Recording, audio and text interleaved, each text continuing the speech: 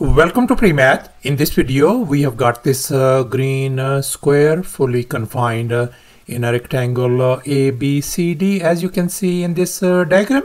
And moreover, we got this uh, diagonal AC of this rectangle as you can see such that this segment AE is 2 units. The segment EF is 5 units and finally, this segment uh, CF is 3 units. In other words, the whole uh, diagonal AC is uh, 10 uh, units. And now our task is uh, to calculate the area of this uh, green shaded square. Please don't forget to give a thumbs up and subscribe. And please keep in mind that this figure may not be 100% true to the scale. Let's go ahead and get started. And here's our very first step. Let's focus on this uh, green uh, shaded uh, square.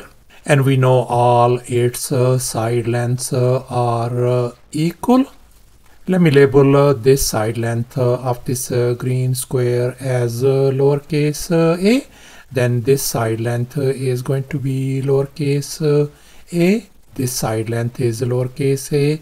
And this side length is going to be lowercase a as well and furthermore uh, this uh, side uh, AB is going to be lowercase a and this side uh, CD is uh, lowercase a as well. And now since we are interested in uh, calculating the area of this green shaded square and now let's recall the area of square formula area equal to s square where s represents the side length of the square so therefore this uh, green square area is going to be lowercase a whole square since the side length of this green square is lowercase a.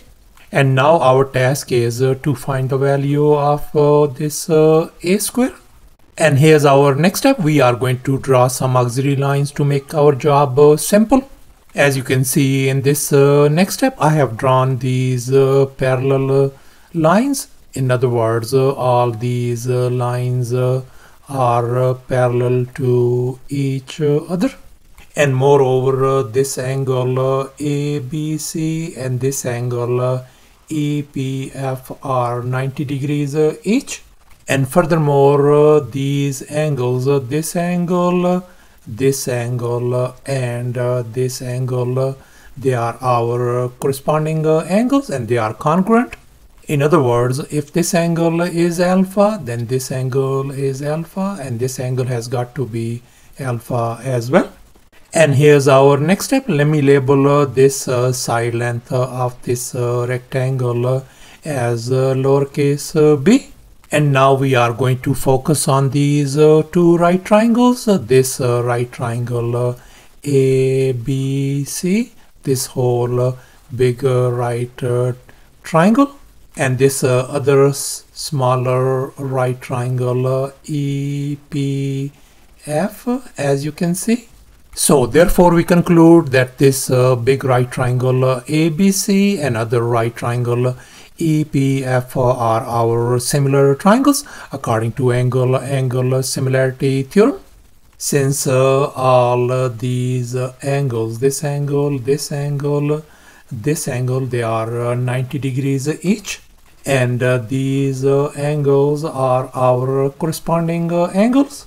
So therefore we are going to have a proportion. In other words the side length of BC divided by the side length AC is going to be equal to the side length PF divided by the side length EF. In other words, uh, the ratio of this uh, side length BC and this uh, side length uh, AC is going to be equal to the ratio of this side length uh, PF and this uh, side length EF. And now we know our this BC length is lowercase b, our this AC whole length is this uh, sum of these individual lengths uh, 2 5 and 3 that is going to give us uh, 10 so therefore our this AC length is 10 and our this uh, pf length uh, is same as lowercase a. So therefore I'm going to replace this pf uh, by lowercase a and finally this uh, ef length uh, is 5 so therefore I'm going to replace this one by 5 so therefore we are ended up with the lowercase b divided by 10 equal to lowercase a divided by 5 let me multiply both uh, sides by 10 to isolate uh, b. And we can see this 10 and 10 is uh, gone. So therefore our b value turns out to be when we reduce this one that is going to give us uh, 2 times uh, a and we know that this uh, bc length is same as lowercase b so therefore this whole bc length is going to be 2 times a so therefore we conclude that this uh, our BC length is 2 times A. And here's our next step. Let's focus on this uh, right triangle uh, ABC. And we are going to apply the Pythagorean theorem on this uh, triangle. And here's our Pythagorean theorem, a square plus b square equal to c square. In our case, uh, the longest uh, leg, the hypotenuse is uh, 10 other two legs are 2 times a and a. So let's go ahead and fill in the blanks in this uh, Pythagorean formula. So we got uh, a square plus uh, 2 times a whole square equals to 10 square.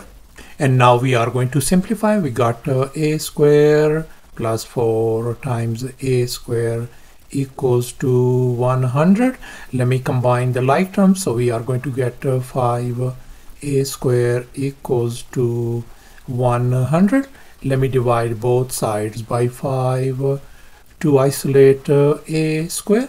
So therefore this uh, 5 and 5 is gone.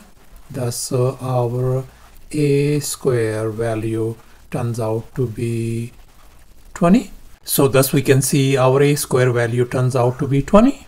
And here's our final step. Now we are going to calculate the area of this uh, green shaded square.